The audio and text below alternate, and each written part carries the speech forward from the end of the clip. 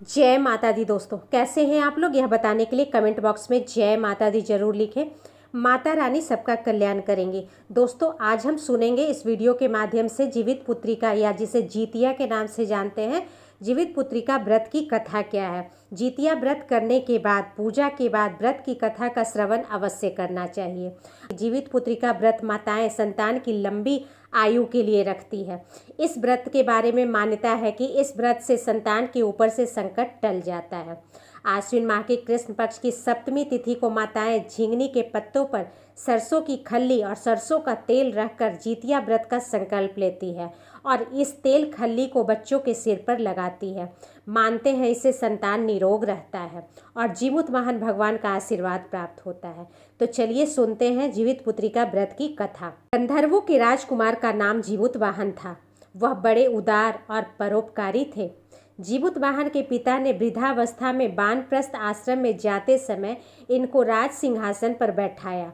किंतु इनका मन राजपाट में नहीं लगता था। वह राज्य का भार अपने भाइयों पर छोड़कर स्वयं वन में पिता की सेवा करने चले गए। वहीं पर उनका मलयवती नामक राजकन्या से विवाह हो गया। एक दिन जब वन में भ्रमण करते जीमूत वाहन काफ़ी आगे चले गए, तब उन्हें एक वृद्धा बिलाप करते हुए दिखी। इनके पूछने पर वृद्धा ने रोते हुए बताया मैं नाग वंश की स्त्री हूँ और मुझे एक ही पुत्र है।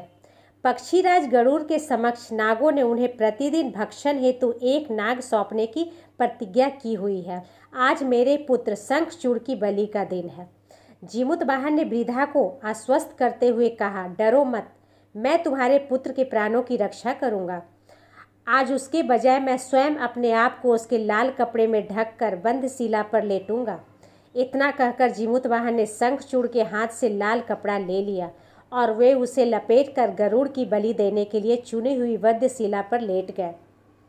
नियत समय पर गरुड़ आए और लाल कपड़े में ढके जीमुत वाहन को पंजे में दबोच कर पहाड़ के ऊपर जाकर बैठ गए। अपने चंगुल में गिरफ्तारी प्राणी की आँख में आँसू और मुँह में आह निकलता न देखकर गरुड़ जी बड़े आश्चर्य में पड़ गए।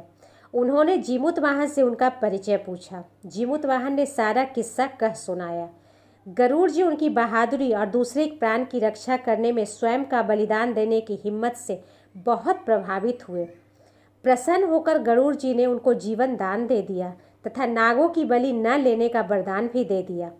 इस प्रकार जीवित वाहन के अदम्य साहस से नाग जाति की रक्षा हुई और तब से पुत्र की सुरक्षा हेतु जीवित वाहन की पूजा की प्रथा शुरू हो गई। तो ये थी जीवित पुत्री का व्रत की कथा। आपने व्रत किया है तो इस कथा का श्रवण अवश्य करें। उम्मीद करती हूँ कि आज की जानकारी आपको पसंद आई होगी। वीडियो को लाइक करें, शेयर करें और मेरे इस घरेलू खबर चैनल को सब्सक्राइब करें। थैंक्स।